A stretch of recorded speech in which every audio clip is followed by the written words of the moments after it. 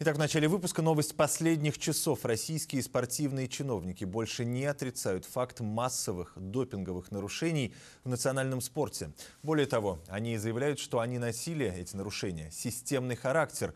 Новость эта тем более неожиданна, что прежде в Москве заявления о небывалых масштабах нарушений среди российских олимпийцев называли преувеличением.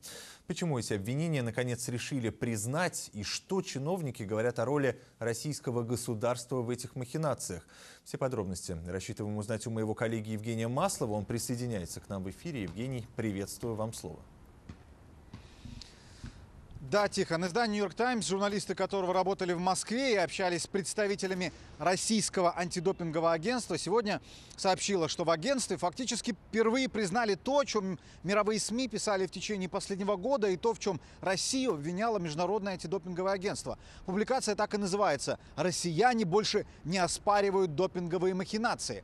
Журналисты газеты, в частности, ссылаются на разговор с исполняющей обязанности генерального директора РУСАДА Анной Анцелиович в ходе интервью интервью, согласно изданию, она заявила, что была сама шокирована масштабами употребления допинга в российском спорте и признала, что использование допинга – это была системная проблема, но добавила, что за махинациями не стояло государство, как утверждали представители международных организаций, проводивших расследование. Я напомню, что специальная комиссия, назначенная э, Международным антидопинговым агентством и возглавляемая Ричардом Маклареном выявила, что Русада была причастна к массовым и систематическим сокрытием применения допинга российскими спортсменами. В отчете говорит, говорится, что Российское антидопинговое агентство заранее предупреждало спортсменов о тестах на допинг и скрывало случаи непрохождения атлетами обследований. Отчет также говорил, что запрещенные препараты применяли сотни российских олимпийцев во время зимних Олимпийских игр в Сочи. И что в операциях по сокрытию э, результатов тестов участвовали представители российских спецслужб.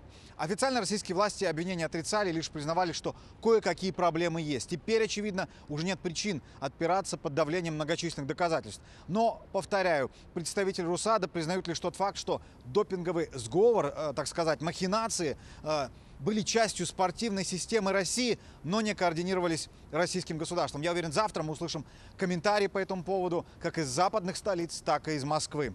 Тихон? Да, действительно, дождемся завтрашнего дня. Благодарю мой коллега Евгений Маслов. Мне остается лишь напомнить в связи с этой темой, что буквально на прошлой неделе, в пятницу, в ходе своей ежегодной пресс-конференции Владимир Путин заявил, что в России не было и нет какой-то государственной программы а, по использованию допинга.